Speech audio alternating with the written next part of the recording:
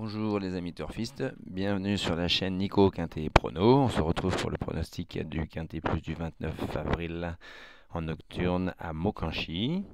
Euh, on revient sur le Quintet Plus de Châteaubriand, on, attrape le Quintet des ordres euh, dans les deux combinaisons de jeu, c'est-à-dire en champ réduit ou en combinaison. Et on est très très très près de l'ordre. Il suffisait que notre copain Herdelios finisse à la cinquième place devant Fallet Bussonnet pour toucher le quintet dans l'ordre. Donc on est tout près. Continuons. Euh, la course du jour, voilà, je vous laisse lire les, conditions de course. On est en substitution de Vincennes.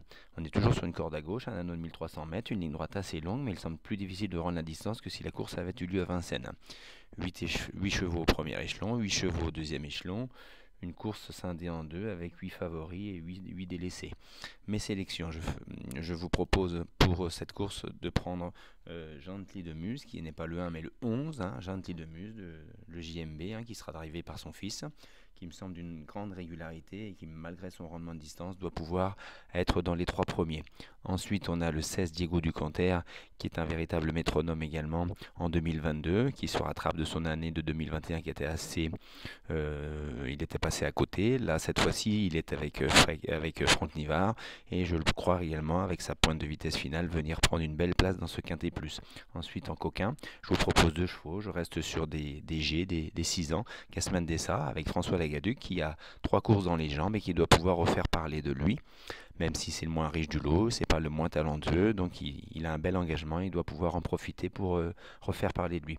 Et le 6 Gold de Mancourt, qui lui euh, retrouve euh, Gabi Gelormini à la drive. Il a fait un, meeting d'hiver assez moyen en prenant que des petites places.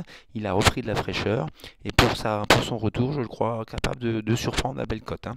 Donc voilà, ensuite pas de favori fragile. Euh, les éliminer. J'élimine le 4 et le 5. Euh, les jeux combinés, donc je vous laisse prendre connaissance. J'ai rajouté à mes sélections le 3 et le 12 qui peuvent être des gagnants potentiels, ainsi que le 7 Enzo Dazif pour une place avec Eric Raffin. Et on les retrouve dans mon jeu combiné avec euh, mon, béton, mon copain, les deux outsiders, les deux coquins, plus les chevaux que je rajoute sur la ligne la même chose en quartier plus éventuellement dans un, champ, total.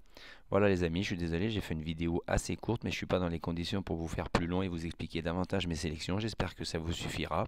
N'hésitez pas à liker cette vidéo, à vous abonner pour être alerté de ma prochaine vidéo sur un quintet plus de trop. Bonne journée, à bientôt.